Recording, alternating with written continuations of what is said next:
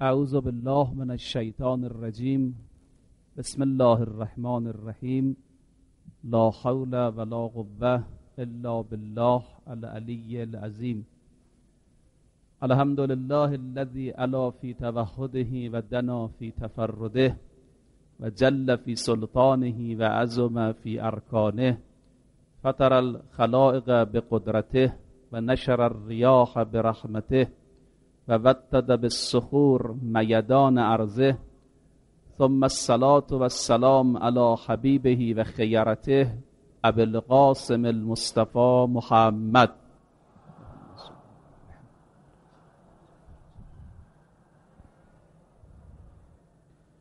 و على آله الطیبین الطاهرین المنتجبین سیما بقیت الله فی الارزین قال الله تبارک و تعالی یا ایها الذین آمنوا کتب علیکم الصیام کما کتب علی الذین من قبلکم لعلکم تتقون.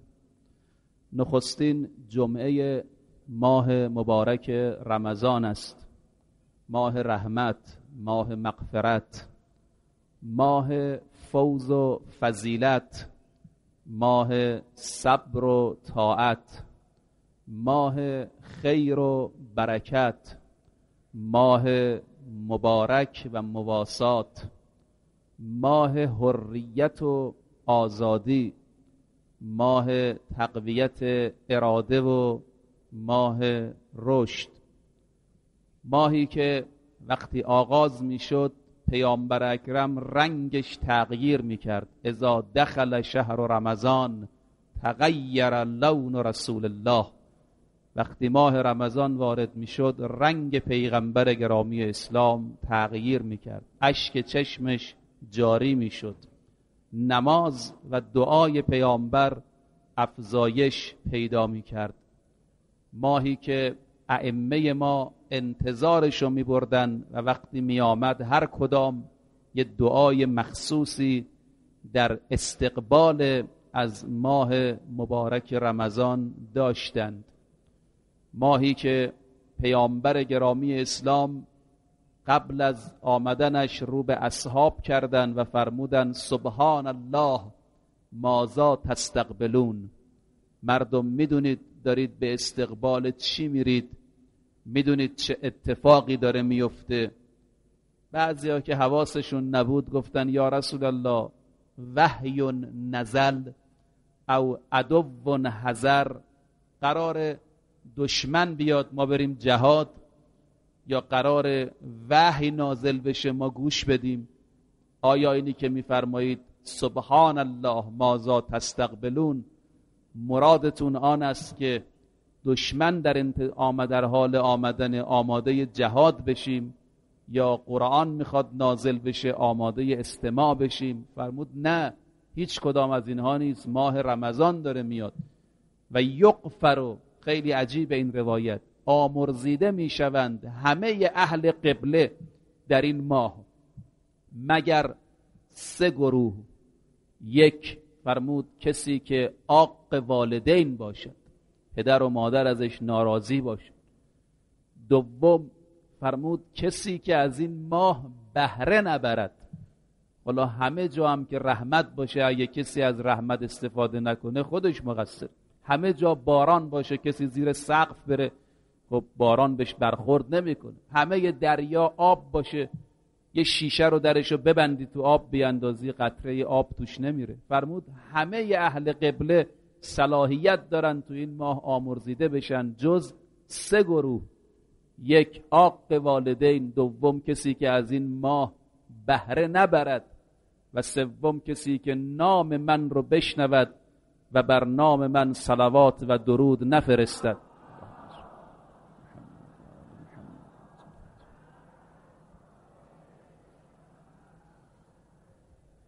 رمضان ماه تقویت است. تقویت اراده. تقویت هر چیزی به حسب خودشه. یه کسی جسمش ضعیف میشه میگن با غذا تقویت میشه. یه کسی درسش ضعیف میشه میگن کلاس تقویتی کلاس کنکور تست زنی کتابهای کمک آموزشی تقویت می‌کنه ضعف بنیه درسی رو. غذا تقویت می‌کنه ضعف جسمی رو. یه ورزشکار وقتی تو کار ورزشیش ضعیف میشه تقویتش با تمرینه با اردوه با مانوره تقویت هر چیزی بر اساس خودش. رمضان تقویت تقویت اراده. آدمی که می‌تونه حلال خدا رو تو ماه رمزون ترک کنه چرا حرامو نمی‌تونه ترک کنه؟ ببین اراده داری. می‌خواد با تقویت اراده به شما بگه شمایی که آب نمی‌خوری غذا نمی غذا نمی‌خوری آب نمی آشامی با حلال ارتباط برقرار نمی کنی چطور می‌تونی؟ پس بگو نگو نمی‌تونم. نگو نمیشه. دیدی شد؟ دیدی حلال و گذاشتی کنار؟ ارادت رو تقویت کن حرامم بذکن ماه رمضان تقویت باوره تقویت اعتقادات. ببین شما به نماز اول وقت اهمیت میدی. ببین یه جای خاصی شروع می‌کنی یه جای خاصی تموم می‌کنی.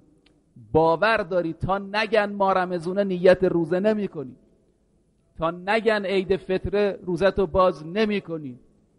تا اذان صبح نگن حق خوردن داری. اذان صبح که میگن نمی‌خوری. تا اذان مغرب نگن نمی‌خوری. پس اراده داری تو. تو باور داری. حالا که باور داری پس مرز رو چقدر دقیق رعایت می‌کنی؟ میگی ساعت فلان اذانه ساعت فلان سحره. ساعت فلان افتاره پس غیر ماه رمزون هم مرزها رو رعایت کن. ماه رمضان ماه تقویت اراده است. تقویت باوره. تقویت روح تقویت نظم تقویت تدبیر تقویت تصمیم گیری است. ماه رمضان ماه به خود رسیدنه یه وقتی یه کسی به عبازر گفت عبازر منو نصیحت کن. عبازر براش نوشت نصیحت من به تو این است به عزیزترین دوست خودت جفا نکن. به عزیزترین دوست خودت خیانت نکن. عزیزترین دوست خودت رو آزار نده. بنده خدا نفهمیدی یعنی چی؟ من که دوستامو اذیت نمی‌کنم آزار نمیدم من که کاری به کسی ندارم. برگشت پیش ابوذر نوشت ابازر من نفهمیدم این نصیحت تو رو. که نوشتی به عزیزترین کس جفا نکن من به کسی جفا نمی‌کنم. ابازر فرمود متوجه نشدی. عزیزترین کس انسان خودشه.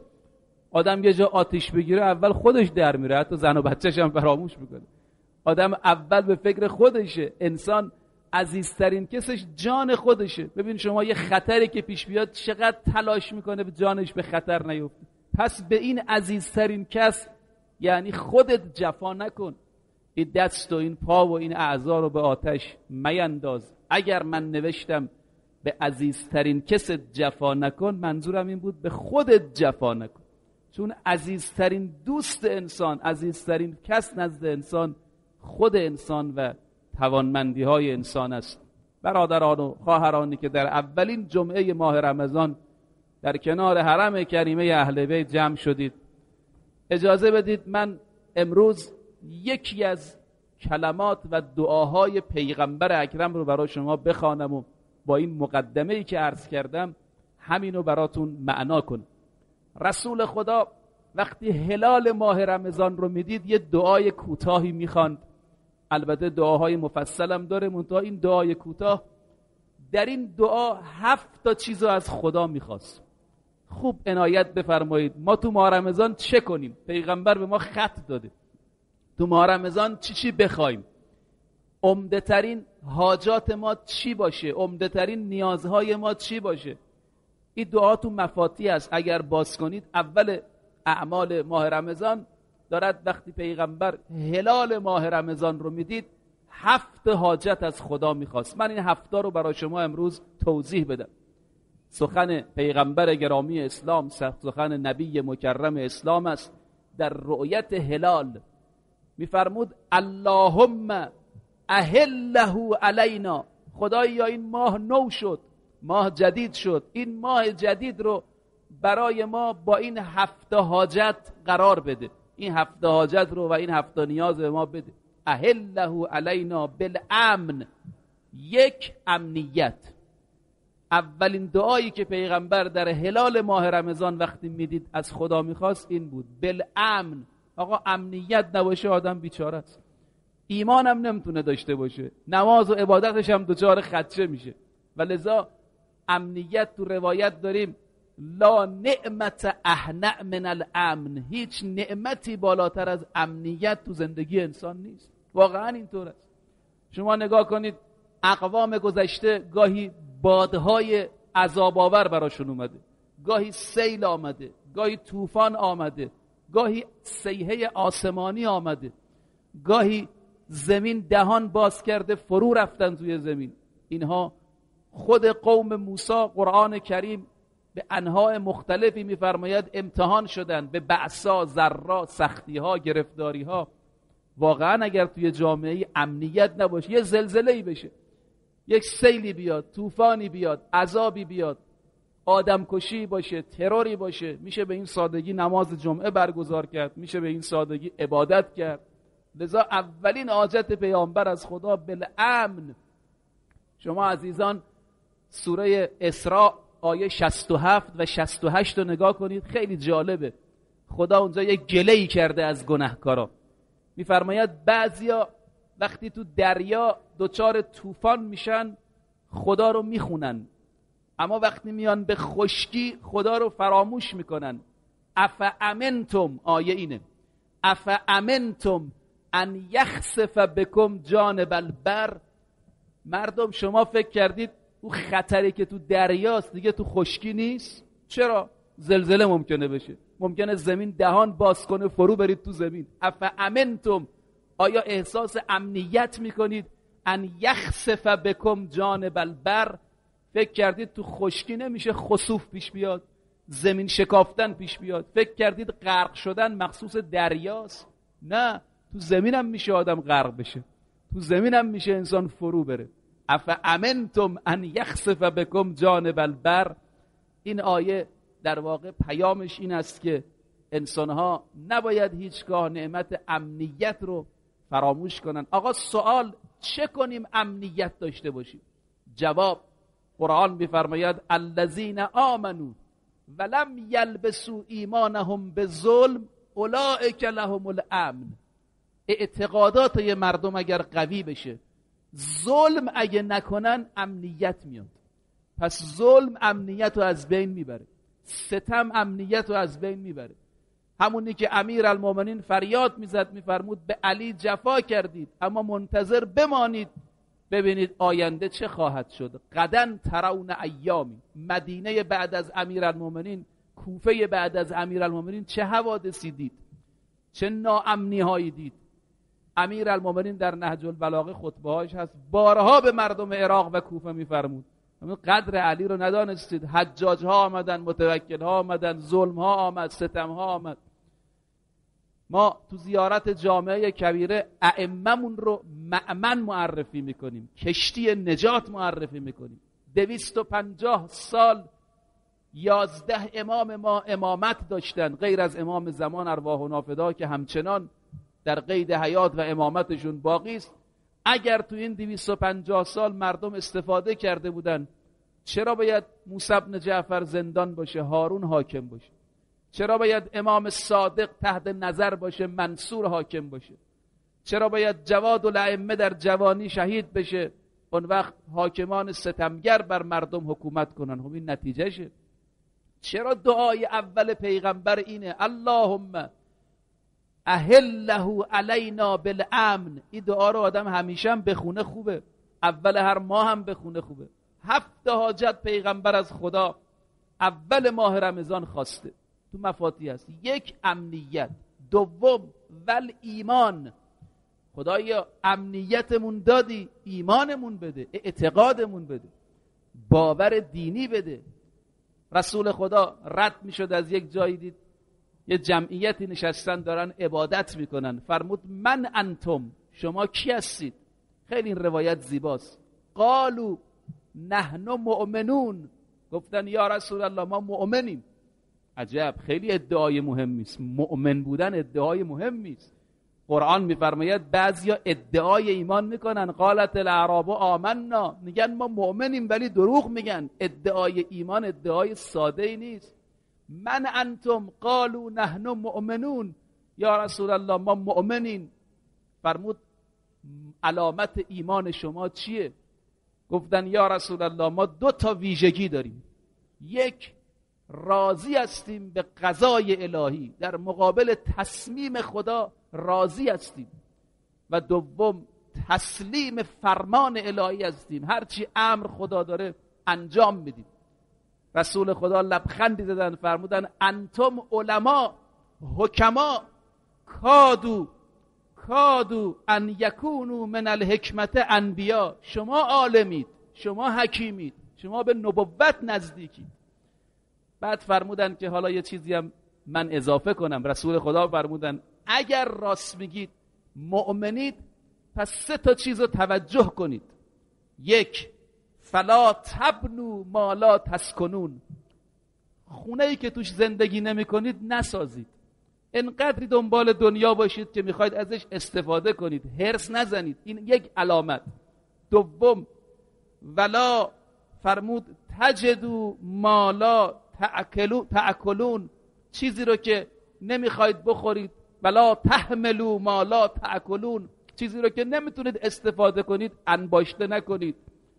و سوم و الله الذی الیه ترجعون. تقوای الهی داشته باشید. بعد رسول خدا از کنار این جمعیت رد شدن. ایمان خیلی ادعای مهمی است دو نفر اومدن خدمت امام صادق. روایت تو کافیه.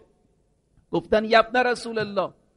بالاترین عمل و بالاترین ارزش در اسلام چیه؟ امام صادق فرمود ایمان. گفتن یبن رسول الله. علامت مؤمن چیه؟ علامت ایمان چیه؟ خیلی روایت مفصل من نمی‌خوام بخونم. امام صادق فرمودن ایمان تو جواره انسان تقسیم میشه. گوش ایمان داره چشم ایمان داره دست ایمان داره. فرض الله علی القلب ایمانا. فرض الله علی السمع ایمانا. ایمان قلب معرفته. ایمان چشم کنترل ایمان گوش به حرام توجه نکردن خیلی مسئله مهمی است لذا مسئله دومی که پیغمبر گرامی اسلام در این دعا از خدا می‌خوان ایمان اعتقاد. ایمان اگر در کسی بود روایت داریم خدا به مؤمن سه تا چیز توت میده. ان الله اعطى المؤمن ثلاث خصال.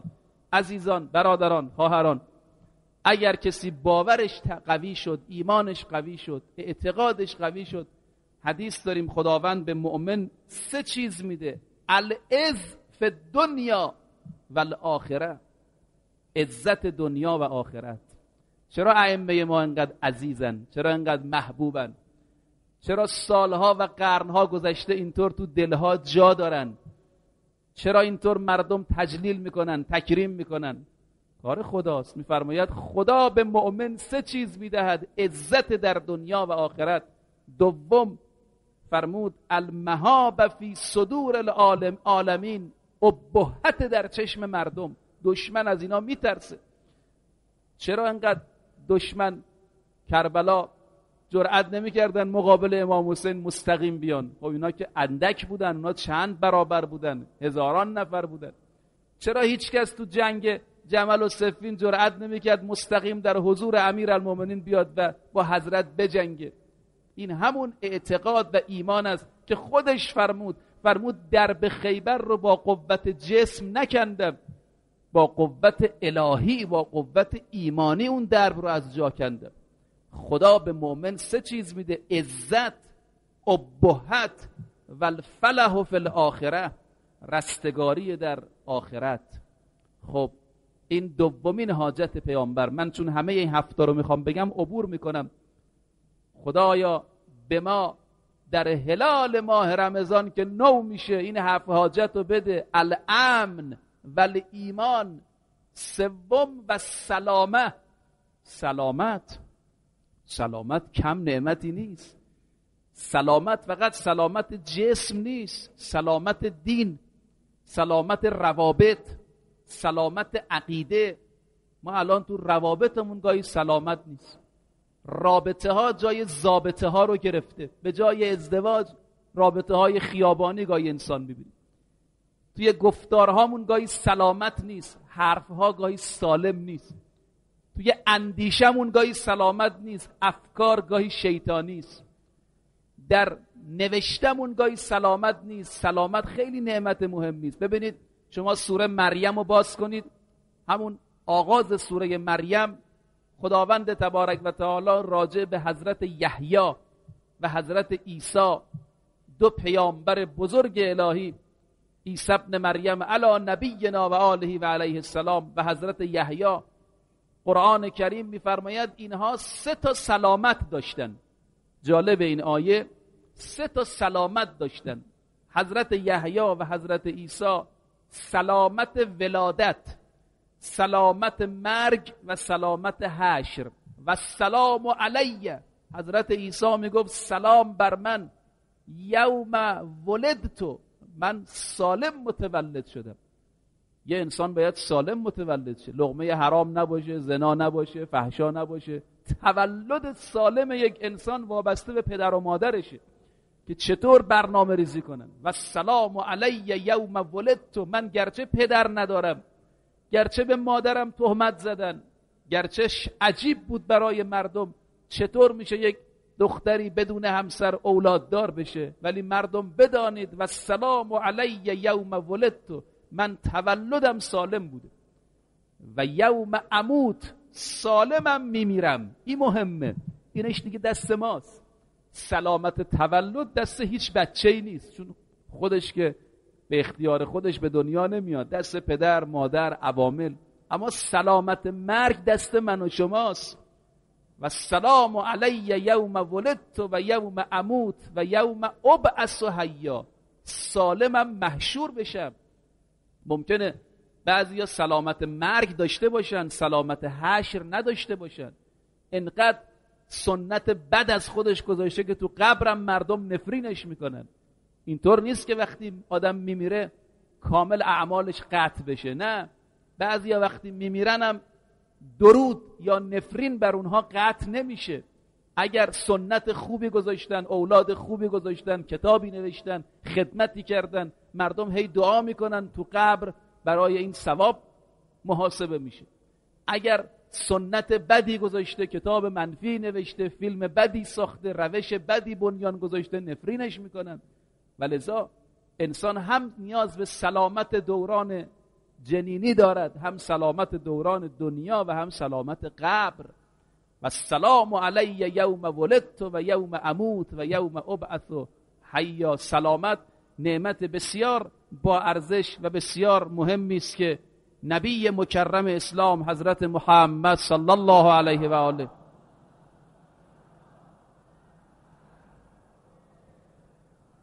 سومین حاجتی که در هلال ماه رمضان از خدا می‌خواد اینه عزیزان امروز پای سخن رسول الله نشستیم.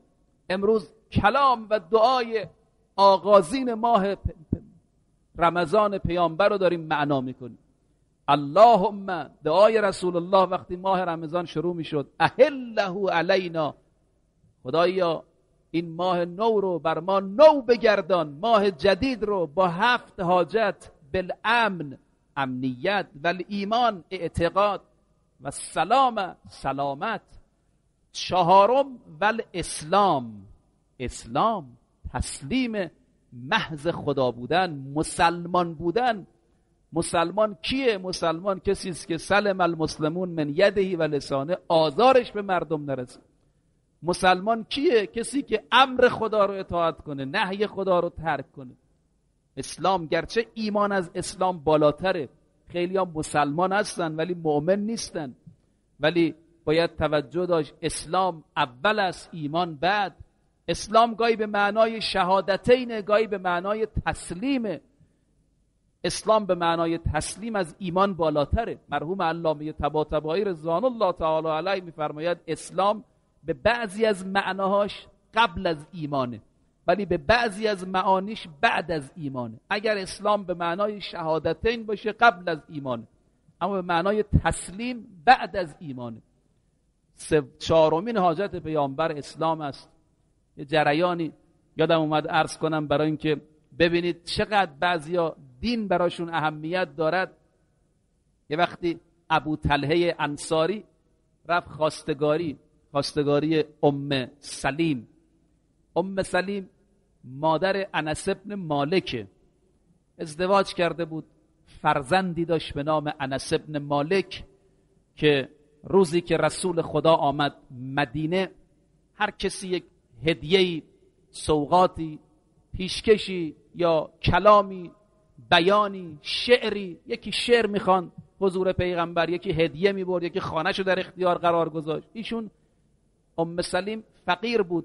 دست پسرش انس ابن مالک رو گرفت که حدود ده سالش بود. اوورد عرض کرد یا رسول الله ایشون غلام شما خدمتکار شما. ایشون تو این چند سالی که شما مدینه هستید خدمتکار شما باشه که حدود ده سال انس ابن مالک با پیامبر بود. در سفر در هزار تو منزل رسول خدا. گرچه معل اسف همین شخصیت بعدها در دفاع از امیر المومنین کوتاه آمد. با فرض اینکه بارها از رسول خدا شنید فضایل امیر المومنین رو و اینم خیلی مهم است. آقا سلامتی که اشاره کرده که انسان بتونه به جا سلامت اعتقاد داشته باشه حرفشو بزنه. حالا عرض من اینجاست. این خانم ابو طلحه انصاری آمد خواستگاریش. ابو طلحه مشرک است. اومد خواستگاری این زنی که خواستگارای زیادی هم داشت. به خاطر جنبه های مثبت زیادی که درش بود. تا آمد گفت هر مهریه و صداقی رو که بخوای من حاضرم برای این ازدواج و برای این وصلت قرار بدم.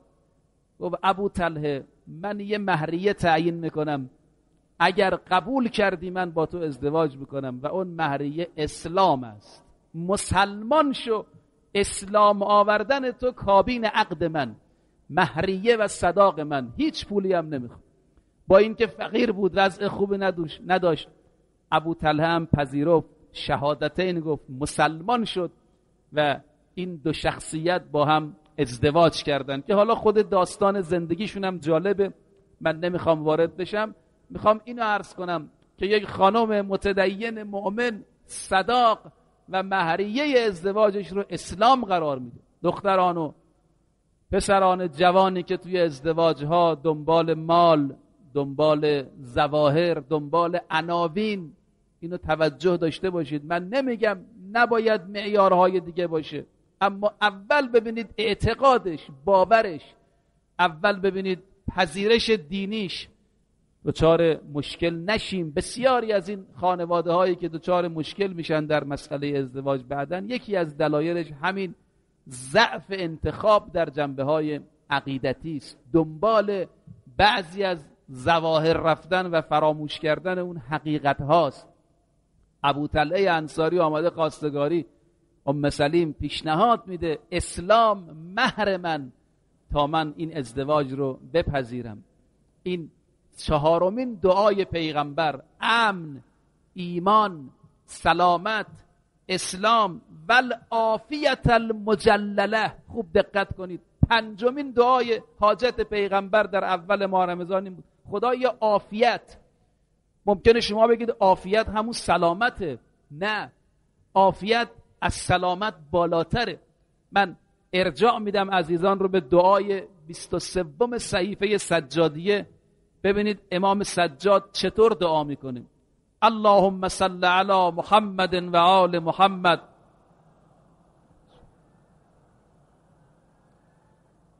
دعای امام سجاد از دعای 23 صحیفه سجادیه که عزیزان با صحیفه سجادیه بیشتر آشنا باشید دعاهای صحیفه رو بیشتر بخوانید این زبور آل رسول و این ادعیه ارزشمند یکی از دعاها که دعای 23 امام سجاد این است البته تو ترتیبی که عرض می‌کنم والا امام رو رقم شماره گذاری دعا رو ایراد نفرمودن. تو ترتیب فعلی میفرماید البسنی عافیتک و جللنی عافیتک و حصنی بعافیتک و اکرمنی بعافیتک.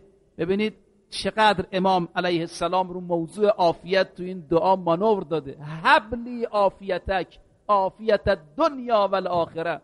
آفیت یکی از نعمتهای بزرگ الهی است که اگر نصیب انسان بشه در دین انسان در دنیای انسان در آخرت انسان موجب می شود خطرات و موجب می شود عوارض سراغ دین و دنیای انسان نیاد. لذا پنجمین حاجت پیغمبر این است و عافیت المجلله ششم و دفاع الاسقام.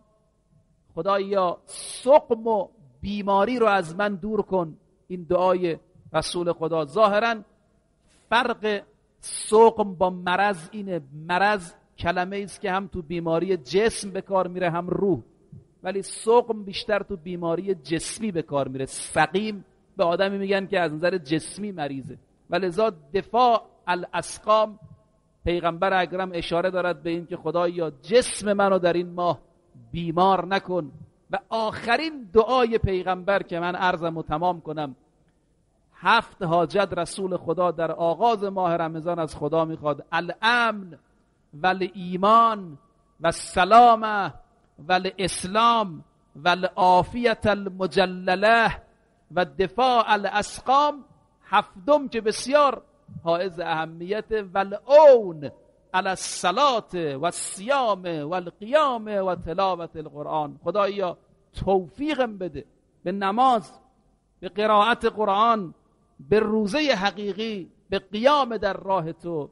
اگه توفیق نباشد عزیزان انسان تو هیچ کاری موفق نیست. ول اون اون به معنای یاری رساندن و توفیق الهی است.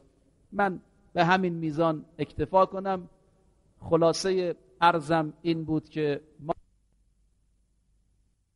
تقویت اراده تقویت باور ماه حریت و عتق و آزادی ماه نشستن بر سر سفره کرامت و مهربانی و عظمت الهی ماه بهرهمندی از این همه فیوزات و این همه عظمت هاست. بیاییم سیره معصومین رو تو این ماه بشناسیم. دعاهای پیامبر دعاهای امام سجاد دعاهای امام رضا. امام هشتم میفرمود اگر کسی در این ماه آمرزیده نشود ففی ای شهر یقفر در کدام ماه؟ ماهی که همه چیز و همه شرایط درش فراهمه. اگر کسی تو این ماه زمینه آمرزش براش فراهم نشه پس کی می‌خواد آمرزیده بشه؟ امام سجاد علیه السلام در آغاز این ماه عرضه می داشتن اللهم الهمنا معرفت فضلهی و اجلال حرمته. خدایا به ما توفیق بده این ما رو بشناسیم. شبهاشو سهرهاشو برادران خواهران. حالا که توفیق داره انسان سحر بیدار میشه به نماز شب در دل شب در سحر اهمیت بدید بعضیا میگن آقا ما سحر پا نمیشیم. روزه می‌گیریم همون شب یه چیزی می‌خوریم. من روایت دیدم که فرشته ها دعا می‌کنن برای کسی که سحر بیدار شه ولو یک خرما بخوره. در حدیث دارد ولو یک خرمای لاغر یک خرمای کوچک. در روایت دارد فرمود اگر کسی سحر بیدار شه خود بیداری سحر موضوعیت دارد. نبی مکرم اسلام فرمودن اول ماه رمضان جبرئیل یه پرچمی می‌زند که روش نوشته توبا لامت ینادون بالاسهار درود بر امتی خوشا به حال امتی که سهرها پا میشن با خدا حرف می‌زنن. ولو دو رکعت شده تو دل شب قبل از اینکه اذان صبح گفته بشه نماز بخوانیم و این در واقع فیض بیداری سحر رو برای خودمون ثبت کنیم. بیش از این تصدیق فراهم نکنم. یک جمله هم اولین جمعه ماه رمضان است. از همینجا سلامی عرض کنم. خدمت آقا و اربابمون ابا عبدالله الحسین علیه السلام. از مستحبات روز ماه رمضان زیارت امام حسین است. هم شب اول شب نیمه شب پایان. شب قدر عید فطر به مناسبت های مختلف زیارت ابا عبدالله علیه السلام وارد شده است. منم از همینجا این صبح روز جمعه آغازین جمعه ماه رمضان یه سلامی عرض کنم انشاءالله با نابودی دشمنان از نزدیک بریم کنار قبر آقا و اربابمون. عرض ارادت کنیم. همه با هم سلام میدیم و انشاءالله میریم به استقبال اذان و نماز. السلام علیک یا ابا عبدالله و علی الارواح التي حلت بفنائک. علیک منی سلام الله ابدا ما بقیت و بقی اللیل و النهار. ولا جعله الله آخر العهد منی لزیارتكم السلام على الحسین و علی علی ابن الحسین و علی اولاد الحسین و علی اصحاب الحسین. خدایا به عظمت این ماه به عظمت نزول قرآن در این ماه تو رو قسمت میدیم. در ظهور آقامون و مولامون حجت ابن الحسن تعجیل بفرما. خدایا به همه ما توفیق درک حکومت امام زمان رو عنایت بفرما. خدایا به مقربان درگاهت تو رو می‌خوانیم. به همه ما نعمت امنیت ایمان سلامت و اسلام عافیت و اعتقاد عنایت بفرما. خدایا در این ماه ما رو ببخش و بیامرز. خدایا توفیق درک فیوزات این ماه مخصوصا توفیق درک شب قدر رو در این ماه به همه ما عنایت بفرما.